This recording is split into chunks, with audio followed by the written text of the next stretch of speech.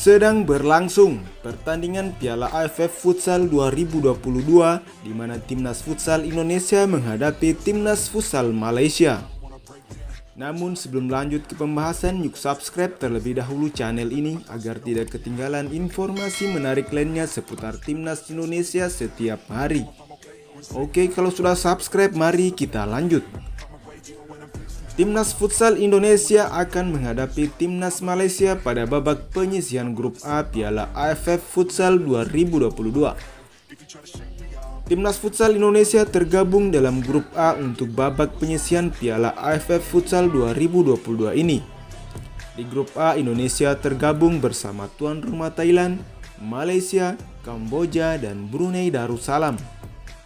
Sebelumnya, Timnas Futsal Indonesia telah bertanding pada laga perdana Piala AFF Futsal 2022 pada hari Minggu 3 April 2022 menghadapi Brunei Darussalam.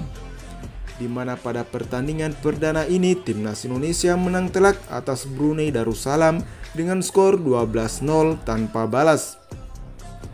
Sedangkan untuk Timnas Futsal Malaysia sebelumnya telah menghadapi Timnas Futsal Kamboja di mana timnas Malaysia berhasil memenangkan jalannya pertandingan dengan skor tipis 7-6.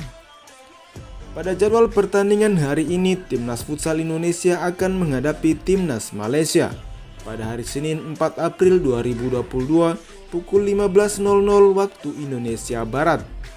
Jalannya pertandingan ini bisa kalian saksikan melalui televisi secara langsung pada saluran iNews TV, RCTI, dan MNC TV.